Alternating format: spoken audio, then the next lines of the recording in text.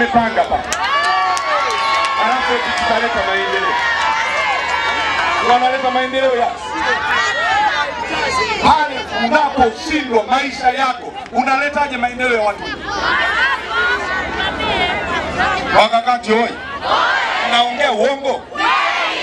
Ndio maana nasema mtu yoyote anapokuja hapa awaeleze wananchi ukweli.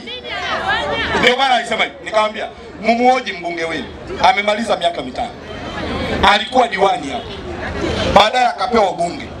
Jimbo ni lile lile, hata godoro la elfu ishirini hajanunua. Akija hapa tunasema makamanda tukomai, makamanda unajua makamanda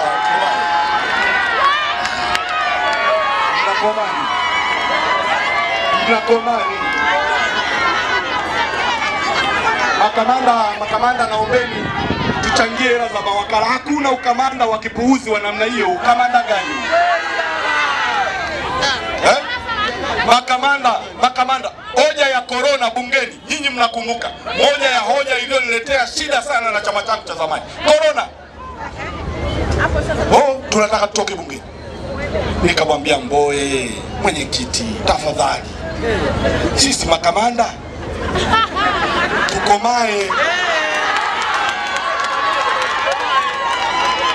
Makamanda tukomae, makamanda tukomae mbele. Oh, eh, kamanda, unajua korona inatisha, korona haina komando wala nini. Ah, ah. Nikaambia mwenyekiti, hii ngoma tunakwenda kupata aibu ya kitaifa. Tuliwaambia nini wananchi?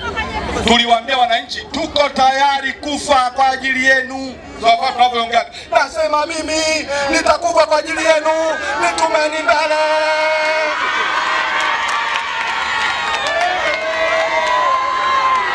Simba oye! Sasa nitumeni mbele. Kamanda umetanguliza mbele, korona imekuja, umekula nduki. Sasa wewe kamanda